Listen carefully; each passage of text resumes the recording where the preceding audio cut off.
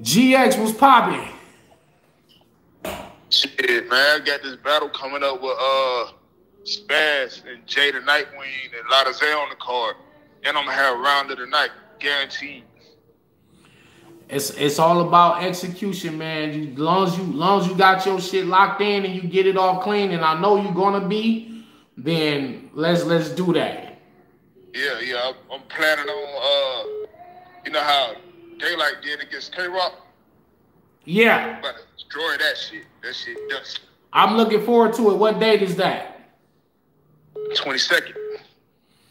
Hey, y'all support GX. This is one of the Undiscovered Gems alumni. Uh, check January 22nd. Check him out.